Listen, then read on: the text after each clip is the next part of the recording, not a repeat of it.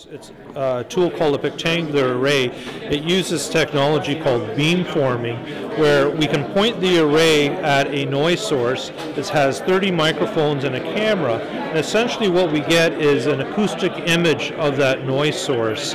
Uh, very similar to a thermal image where the colors represent the heat.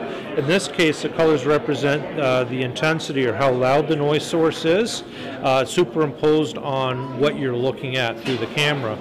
And further to that, not only do we get the amplitudes, but we can also break the data down into a frequency spectra as well. Particularly since with the Windsor Hum, we're interested mostly in the low frequency component of the sound. Well, the, the entire study that's being funded by the federal government is 10 months, but that includes us uh, preparing, doing our initial research, deploying the equipment, gathering data, then analyzing the data, and then assembling our report. So from start to finish, 10 months. Uh, we're hoping to hit the ground within the next month, collect data for three or four months, and then we'd analyze and, and submit our report to the federal government.